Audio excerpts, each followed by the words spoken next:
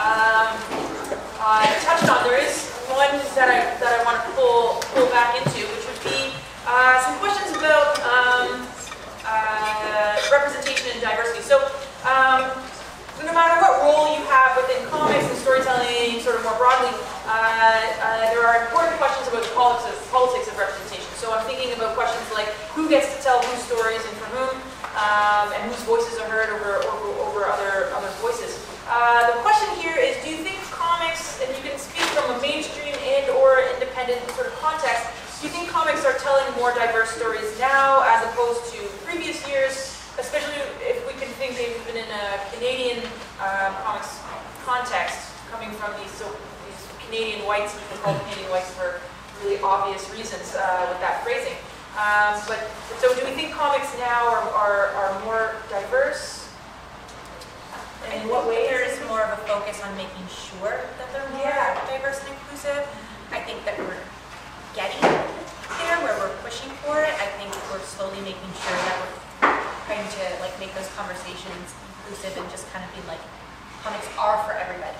But I mean, I don't think we are there yet.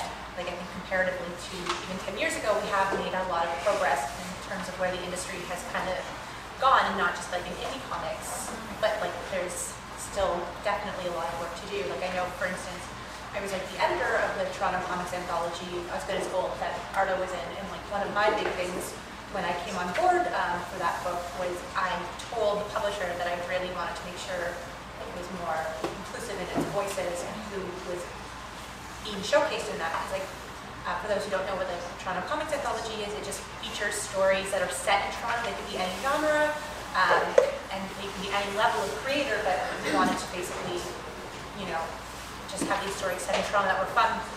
And you know, like a lot of the previous volumes, they're lovely, they feature a lot of like white people and like white dudes, and that's great, that's fine.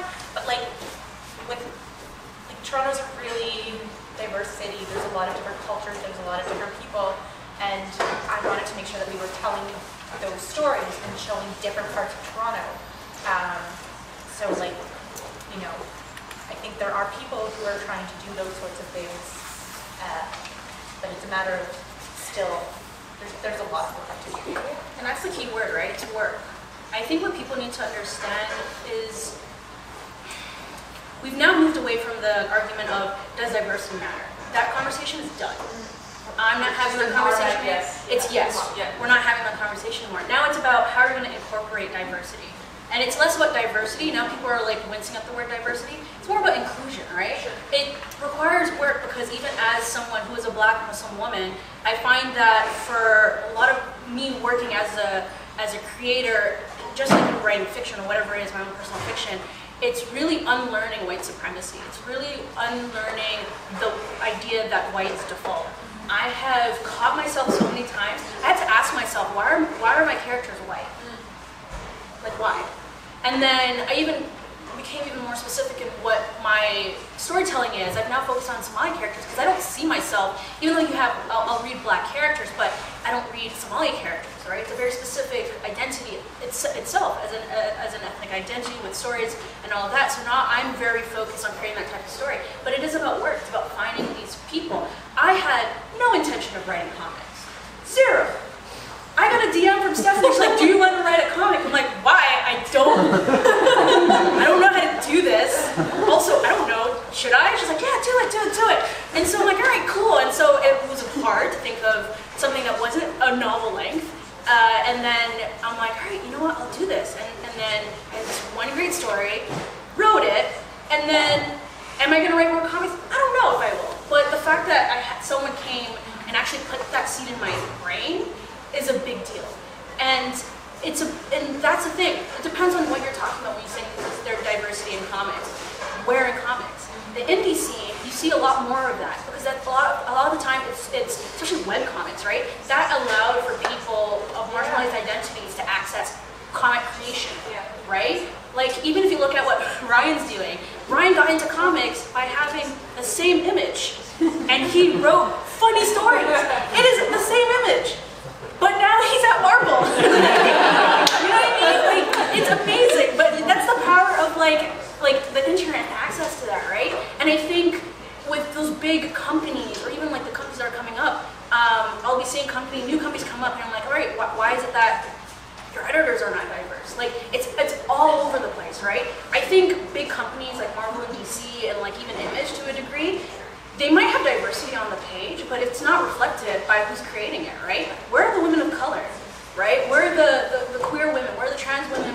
Like, where, where, are the- like, generally just trans people and queer people? Like, where are these people who are also creating it, right? Because the, the, the people behind the scenes are just as important as people on the page, right?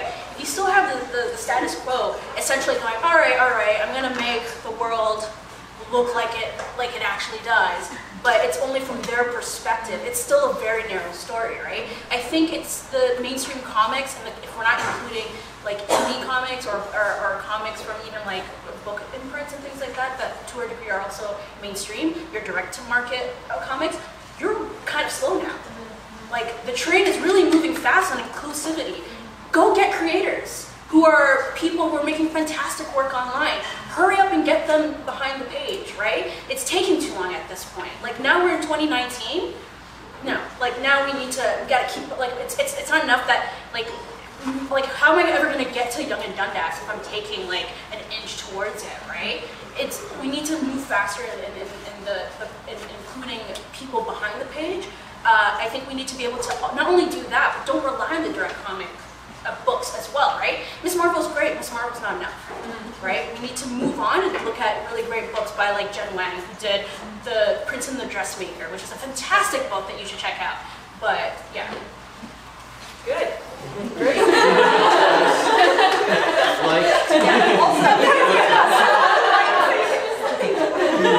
sorry.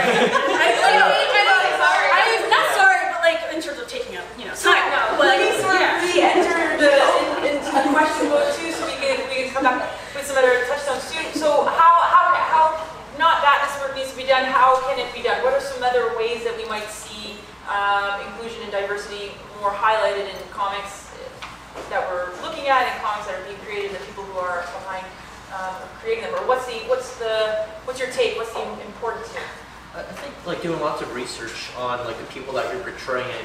Um, also like just in, interact with like people like outside of your circle circle and just, just expand that and, and you'll learn more from like people's backgrounds and and just ways of life and and um, and as long as you have like this empathy for those characters that you're writing and it's well intentioned um, uh, I think you're just off to a good start when you're just writing from a different perspective of, of someone different from you. Yeah. I mean, I would say the biggest way to get diversity and inclusion in comics, whether it's in the stories or, like you said, behind the page, is like listen. listen to creators of color, listen to trans creators, listen to creators with disabilities. Like, just listen. Stay in your lane. Let them write their stories and depict their lived experiences as they want to. The problem is like people are not listening. They keep just trying to um, use words like inclusion and diversity, but when you have creators of marginalized backgrounds actually saying things, they're not listening. They just want to use the buzzwords, but not actually commit to the practice of like um, engaging with marginalized creators in a way that has like empathy, in a way that shows you trust them to depict their lived experiences. Um, there's like definitely a lack of trust. It's like we don't believe that marginalized people can actually like create a story. Like we feel the need to like give people pointers. It's like no, they know what they're doing. So let's listen. And I think also when marginalized creators are making stories, it's really important that we not like pigeonhole them in- as like these token stories. So like I know for me as like a brown girl artist, like it's not that I'm making brown girl art. Like it's just it's art and storytelling.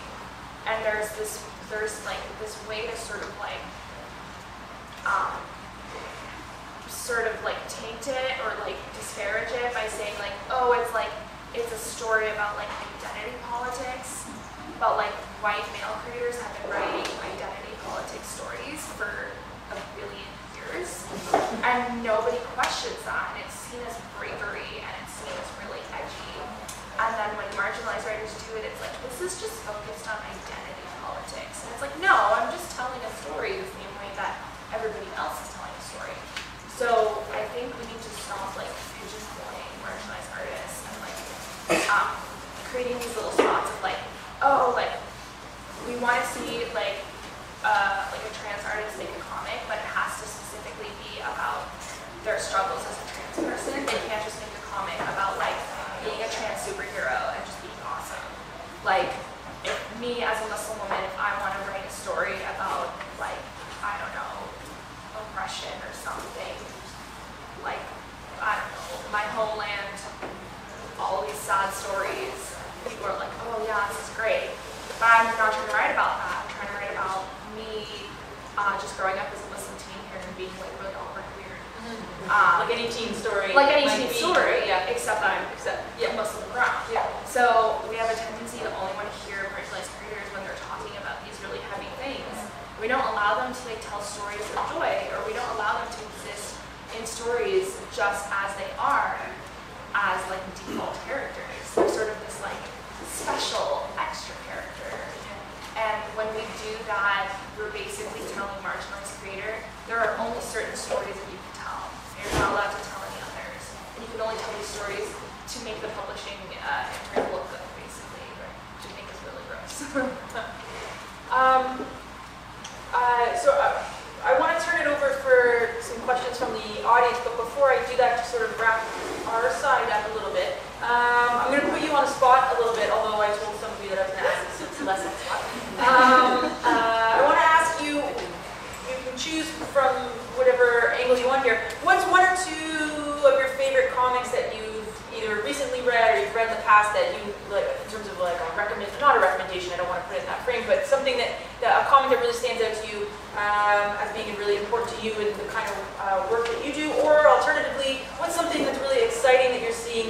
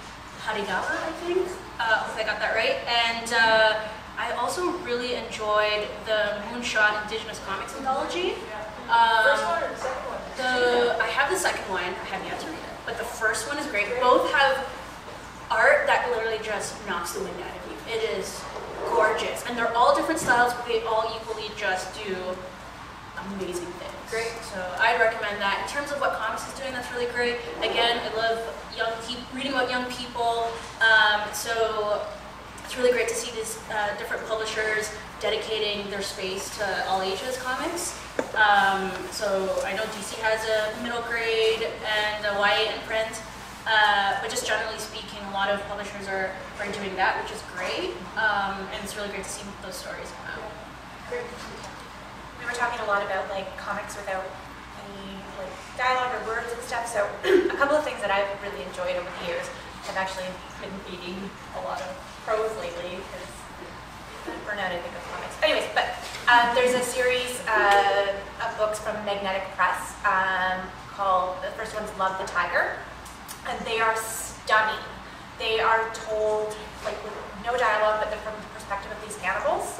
So it's like a day in the life of this tiger that's just trying to survive in the jungle. And it's this stunning tale, like it's comic form, and uh, just goes through what he has to do to survive. And they also have, I think, Love the Fox and Love the Dinosaur. So for those of you who are like into dinosaurs and stuff, like, you know, they don't have to be read in any particular order. They are fantastic, though the art is just brilliant. Um, and then from Nobrow Press, there's another book um, called uh, Night Lights by Lorena Alvarez. So good. Oh, it's so good. Like they just have like these, she has these spreads and like you just like it's you can't stop staring at it for like forever. And It's like what you said, like you like look up and it's like spring. It's a completely different season. Like it's so stunning. The colors. Of, this is it. Hey, this is good. But they're so beautiful. just like looking now, but They can't see it, so. yeah, it's. I know, I know, but I'm trying to think more about age. I know what I'm doing. like it's incredible, um, and it's a really short read. Which again, you know, you spend you spend like a year doing that, but it's beautiful. Uh, I just read Cardboard Kingdom by Chad Soul. Uh, Chad Sell? So, Sill? Yeah, Chad Sell. Fantastic. It's very animated. Uh, focuses on 16 different kids in this one neighborhood. Very imaginative. Every single one of them, and they are like they, they play their own like like role like D and D characters without like the D and D. Like like they they they design their own costumes out of cardboard and they play in each other's backyards where each backyard is a different layer uh, or like this different theme. um, environment. Uh, yeah, just a lot of fun. So much fun, and it's and it's like there's it's a lot of like short stories that focuses on each uh, of the 16 kids. So you, you you grow to love every single one of them and, and how they interact with each other. I think there's different like writers for the different stories too in some of them. So- Yeah, or different writer or different artist. Yeah, or yeah, yeah, yeah, something like that. yeah. Yeah. This is kind of the worst Um, so I'm sorry for all of the wonderful people whose work I've read recently and I can't remember now. But uh, one that springs to mind as more body work, not just uh, single single works, single books and comics, is um, Lauren Galloway, who's an artist working in Chicago, and she just recently has been making work uh, sort of quickly and along with her life experiences that are they're just like crushing it. This beautiful metaphor of a book that had like um, has like moons starting like one moon on one side of the book and one moon at the end of the book, and it's like a, a do-si-do that you like flip to read one story and then flip it to start reading the other story, and they like collide in the middle, and it's about estrangement from her brother, and it just like totally blew my mind. And stories about motherhood that I think are really um, are really interesting, especially when you try to combine motherhood and comics in the amount of time and the amount that it takes and, and what kind of effort you can put there. She just has such a like philosophical and nuanced way of showing what's just really happening in her life. And yeah, it just crushes me. Wonderful. On the spot? The second you ask the question, like I've never read a comic book in my life. um, yeah, I mean,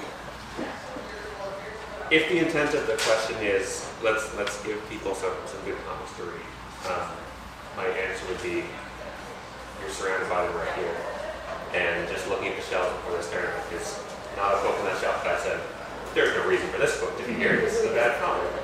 So you can't go wrong. So, good, for sure. Okay, so maybe if there are uh, questions that people want to ask, do you guys ever read your comics after you finish them? Yeah, I, I recently, there's a comic I did for a company that since went bankrupt. And uh, a couple years gone by, and I remember that comic was really, really good. It was such a good comic. And I found someone who was illegally pirated, and I downloaded my own comic. I read it, it was not as good as I thought. It was really disappointing because I thought it was, um, it was such a shame they reflected in a book, and now I'm like, I'm kind of glad no one can read this. um, but when I'm writing, the experience is uh, the only way I can tell if what I'm writing is good is to imagine reading it. It's to literally read it and imagine what it looks like on the page. Great. And so you're always your own first reader. And uh, I guess what, what, what crushed me from that other experience is that I thought I was a good first reader, but now I know I'm biased. so yeah, I think we all, you all read, you, you read your stuff when you're writing it to make sure that it's I think I've gone back and like read some of the things like I wrote earlier and like I, I think I always have anxiety about like handing something in and just like, ooh, it's terrible. And then they're like, no, no, it's good, it's fine. And I'm like, okay, okay, okay, okay, okay. Um, or like, if you want like a really honest editor, like Hope Nicholson, like you hand in a book and you're like, how was my story? She's like, you know, like it was a solid B. and I'm like, cool, thanks, yeah, that's fine.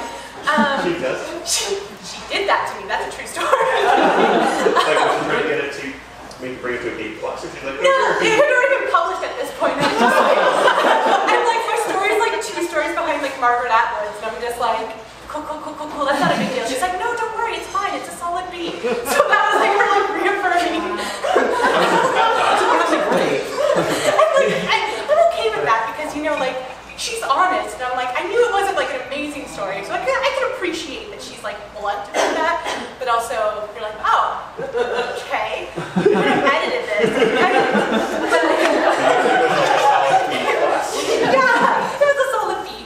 Um, but yeah, so like sometimes I go back into my stories and like you uh, like take a look and I just have general anxiety about it. It's like, oh, why did I do this? Like, I, I'm proud of like the things I do though regardless. They make it out into the world and I'm just like, I did this thing and that's an accomplishment. So you know, I do have anxiety, but I try to remember that it got onto the page and like got out into the world and that's you know, a thing, even if it's just a solid B.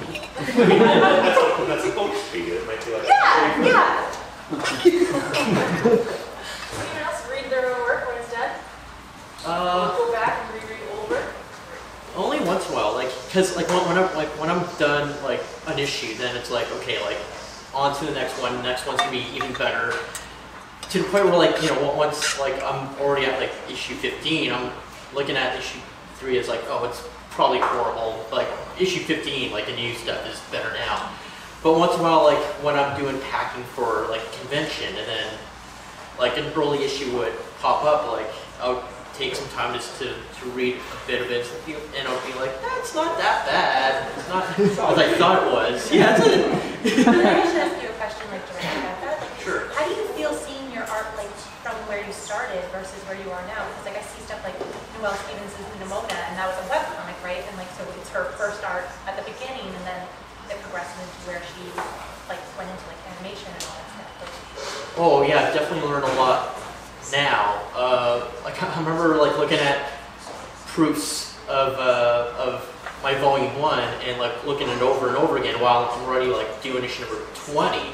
I'm like, oh, this is so embarrassing. Let's just get this over with. Let's make sure all the pages are are in order. They're all there. And yeah, I get sick of it actually, especially when you're looking at like the fifth draft of proofs. It's like, just approve this. It's fine. I hate it. Um, I just released my first book actually in uh, August, which was basically me like pushing myself to overcome all of those anxieties about writing and drawing and just making this story that was really important to me. And uh, it's not, I didn't go back and redraw anything. Um, so the book actually has in it like a full range documentation of like how I drew right at the beginning when I started to how I ended after drawing so, so much over those five years. And uh, because it was such a long stretch and I had a really big chunk in the middle, think about a year and a half or two years where I just didn't draw it at all, I had to reread things to like understand where I was even taking the story to like get myself back into that mindset. Um, and also because sometimes people will like you know, I'm doing an interview and they ask me about some part of the book and I'm like, I don't remember that part. I have to go read it. And it is the same kind of feeling of like, oh wow, I read that. Okay, yeah, that's how I did it before and oh, I would do it differently now. I learned so much in this process, but also like really trying hard to appreciate when something is done and what an achievement that was for me personally, no matter how it sits in the spectrum of all good comics or even my taste. Um, so yeah, I do it sometimes just to like refresh my mind that I've done this, I can do it again. I did it one way and I can do it other ways. And I'm learning how to deal with the embarrassment of this thing that I don't necessarily like all the time being out there. Other, what other current questions? Anything else? Um, is there like, is there a grading system for comics, like age appropriateness, like how much nudity is too much nudity to be in the young section, or swearing, or graphic violence, like generally like if you go to the library or many comic book stores, there'll be three or four different sections for a graphic novel, uh, for different age groups. There's no real like when you're writing a comic or drawing a comic for storytelling, how do you know where the the line is for what age group you're writing for? I guess. Um, I mean, there used to be kind of like a comics code, I guess, like, it's not really like any uniform kind of like rating system that I know of. Like, it's just like you walk into a bookstore and like, I think the people are just like, no, no, no, don't give this to your child. But, like, um, Marvel has one, but it's bad. yeah. but like I think a lot of like creators and like I think especially at like specifically comic book stores, like the staff know what's like appropriate, which I mean doesn't help you if you're just on like Amazon buying something. but I mean like when I'm writing something like right now I'm just very much into like writing like kid stuff and all ages stuff. Like I'm very conscious of like those things from like prose and from movies and trying to make sure that I'm taking those things and applying them to my stories to kind of keep them within that level so that they're more marketable to that specific age range. But I think that for me at least, that's more like self-policing and kind of making sure that that's following um, mental guidelines. It really depends, right? So it depends on like what comics publisher you're working with, right? If it's a book imprint, they've already have their systems on what bookstores are likely to shelve in the young adult section or in the adult section. Comics generally, it depends on the bookstore too. In the case of Indigo, for the most part, will have just an entire graphic novel sec- section. And they're all there together. But I've seen some of their teen stuff and young adult stuff be in the YA section. Like I've seen Yeah. Miss Marvel there as well. It really honestly depends on because like even like direct market comics, I don't know what happens there. I, I mean, you said Marvel wasn't great about it, but like it's it really depends. But also, I think if you're coming from a storyteller perspective, it's it, this is what people tell people writing prose. Same should be done for comics, at least in the script stage. You don't want to tell an artist this. It's too much work went into it. But generally speaking, write the story you want to write. Yeah. Don't focus on marketing. Just write the story you want to write, but then they'll tell you where it'll fit or what you need to take out if you if, if it skews younger, but you have some things you don't want in there, but it really it really depends on the editor and what they think it is, uh, publisher, where the bookstore will ultimately shelf it. But when you when you add that extra like with graphic novels and books, when you add that extra layer layer of art, like you use the example of they walk through the park, you could draw that very differently, and it could be appropriate or it could not be. it's a nudist park. I was gonna say, uh, they walk through the park and you just see two topless people in the Yeah. park. Uh, but yeah, you know what I mean? Like it, depending on what you, the script says, the artist could take it in many different directions, and then they do shelve the same books in different sections in different bookstores and libraries. And then I also just had a suggestion for if for the comic library, it does find film, maybe you could put like stickers on the spine of the book, like either appropriateness or whether it contains like content for LGBTQ or That's extreme. That's part of your, your system Uh, already. Yeah. So yeah, we um, we do have a YA young adult section, and we are including a uh, system within that section as well. So we have a stickering system for intersectionality, um, rainbow stickers for queer comics, um, orange stickers for Black, Indigenous, color cartoonists. Um, we have green stickers for mental health comics, and we have blue stickers for physical health comics. And that's within the subject, so they're not segregated from their subject area, but you can still look up at the shelf and you can see these stickers in all categories. So that, uh, yeah, so we, we do have that in mind, and we are looking for ways to improve upon that as well. And a note on like YA and maturity and stuff. Um, yeah, obviously we don't want like violence or hatred or like uh, nudity or something like that. But these are things that young adults are exposed to every day as well. So we want to uh, give young adults respect and, and still include those narratives.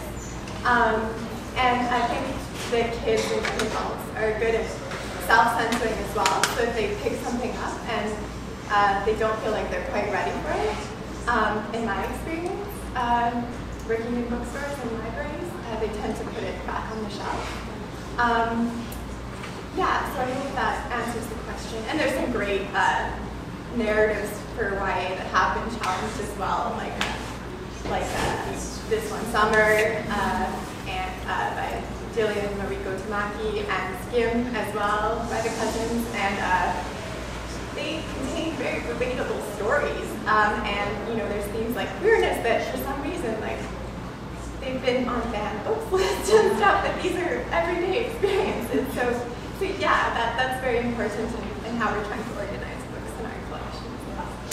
Great. Maybe one more question, if there is one to wrap it up. Yeah. Um, I, one of the things I love about comics as a medium or an art form, however we're raising it now, um, is I feel like it has a really unique uh, ability to deal with time that is not the same as film or literature or visual art or prose or poetry. Um, so I don't know. I just wondered if anybody kind of wanted to speak to that. Like, um, for me, it's particularly interesting, kind of the intersection of like the passage of time and memory um, in relation to auto-bio kind of stuff. But it's so important in any kind of story. Like the, I know Scott McCloud and possibly Ryan have talked about this in their, um, their talks. Like uh, how you know one page can be just like literally one second, or it can be a year or a decade um, or a century on a page. Um, so yeah, I don't know if anybody wanted to, to, to speak to how time is relevant I like the, the flexibility something you're speaking about, the flexibility of time. Uh, there's a guy on Twitter this morning who I said that um, there's a joke in Squirrel Girl about how you know, Ghost Rider doesn't ride on ghosts, but Silver Surfer is a silver guy who surfs. Responding like, you know, has it actually been shown that he's silver, and wouldn't he have to polish himself a lot? and I said, oh, well, that's the beauty of comics, is that between every panel, there's time for him to quickly polish himself. Yeah. That's what the Silver Surfer is doing. And I felt like I just declared that canon. and like that, that, that, that space between the panels and gutters is such a flexible thing. There's so much fun narrative out of it. For sure.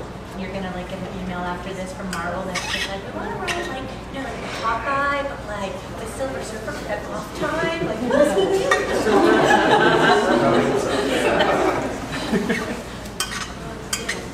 The idea of duration on a page or how long uh, a page can kind of dictate what a reader to, to spend on a page is something obviously uh, you know, illustrators spend a lot of time thinking about and writers probably, I imagine, approach from a, from a particular uh, angle too, right?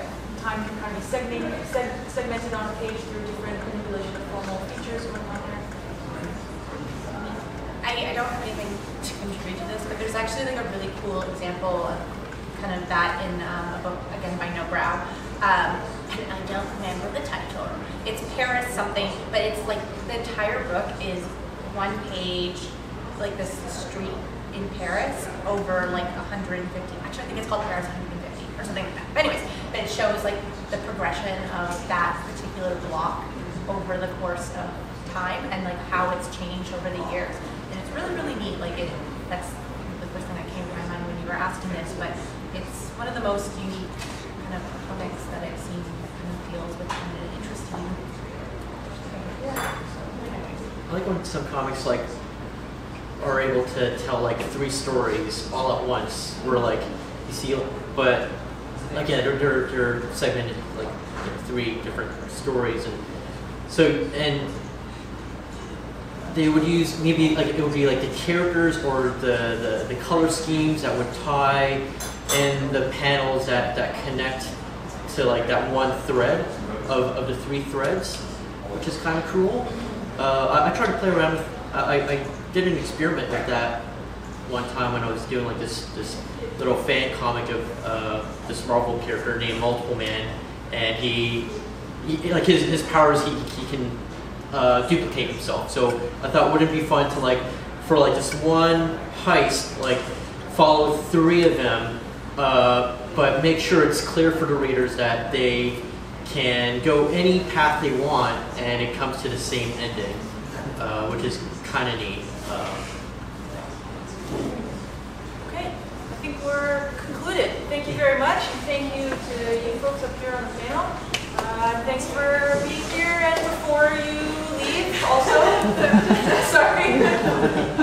Um, so first of all, thank you. That was a wonderful conversation. Um, I enjoyed it a lot.